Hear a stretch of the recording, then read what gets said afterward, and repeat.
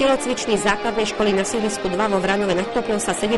októbra zišli malí dopraváčikovia, teda predškoláci z vranovských materských škôl. Malý dopraváčik bol totiž názov podujatia pod zaštitou primátora mesta a keďže malo dopravno športový charakter, mali predškoláci naň prišli patrične oblečení, vyzbrojení a pripravení na všetky úlohy, ktoré ich čakali. Centrum voľného času v spolupráci mesta Vranov nad Topľou a kabinetom pre e, predškolskú výchovu, e, ktoré pracuje pri referáte školstva, pripravilo 0. ročník krásneho podujatia Malý dopraváčik, ktoré je venované detičkám materských škôl. Teší nás, že účasť prijali všetky materské školy e, v meste Vranom nad Topľou, to znamená 5 veľkých materských škôl a 3 menšie materské školy. Deti sú v cestnej premávke tými najzraniteľnejšími, preto materské školy venujú veľkú pozornosť dopravnej výchove. Aj toto dnešné dopravno-športové dopoludnie, malý dopraváčik, malo byť akousi takou súčasťou výchovno-vzdelávacieho procesu v materskej škole prostredníctvom zážitkového učenia.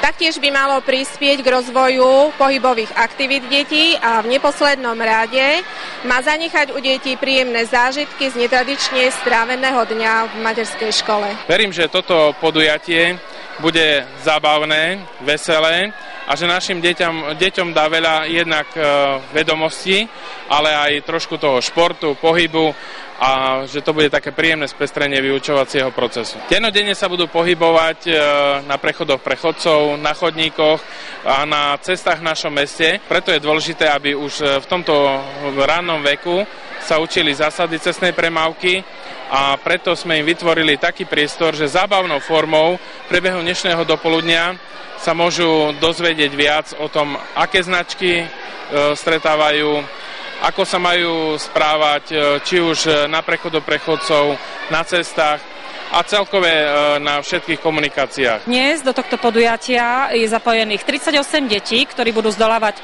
prekážky a 60 detičiek, ktoré sú v podstate akoby rozplieskávačmi a povzbudzovateľmi súťažiacich detí. Prvým prekvapením podujatia boli športové disciplíny a to jazda na kolobežke spojená so slalomom pomedzi dopravné značky a jazda na trojkolke spojená so zberaním značiek. Z postriehaných kúskov dokázali predškoláci správne zložiť dopravnú značku a v disciplíne červená či zelená behom zdolať danú trasu a správne reagovať na svetelné signály.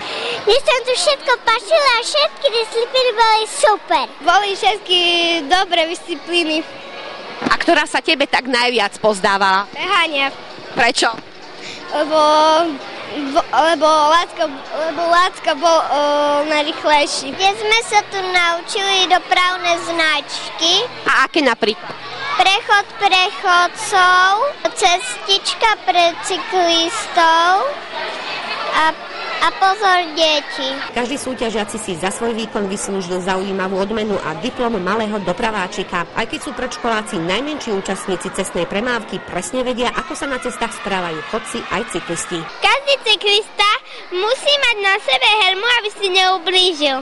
Chlaniče ešte a musí dávať pozor na bicykli. Pani učiteľky nás naučili, že, nás naučili, že sa pozrieme na ľavo, na, na pravo, zase na ľavo a keď vidíte auto máme zastaviť, keď, keď nám toto e, zastaví, môžeme ísť. Posledným prekvapením dňa bola návšteva dopravných a mestských policajtov a ukážka policajných aut s kompletným vybavením. Z výstroje a výzbroje policajtov si najväčšiu pozornosť získal postrach vodičov na cestách, teda radar a taktiež železné putá. Čerešničkou na torte bol psík Drago so svojím psovodom a ukážka ich dokonalej súhry. Pre materské školy sme si pripravili aj výcvik e, psa, Ukážky budú z poslušnosti, cviky e, ovládateľnosti na vodítku, aportovanie, v podstate privolanie psa, základné poslušnosť, sadni, ľahni, vstaň. Nakoniec e, zoberiem mladých psov a ukážem im cviky obrany. Kvôli tomu psík, lebo je to štvornohý priateľ človeka, e, deti majú radi psíkov, no a aby videli, ako sa dá pes vycvičiť, aby mali vzťah k tým štvornohým zvieratkám. Verím tomu, že aj keď je v tomto roku 0. ročník tohoto krásneho podujatia, že nájde odozvu v srdciach učiteľiek, samozrejme detičiek a že budeme v tomto duchu pokračovať, pretože dopravná výchova je veľmi e, dôležitým prvkom, čo sa týka predškolskej výchovy v materských školách.